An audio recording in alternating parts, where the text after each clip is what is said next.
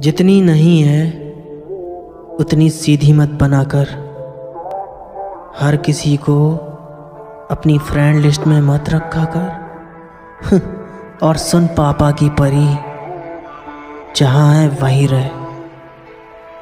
और यूँ बार बार बेवजह आसमां में मत उड़ा कर।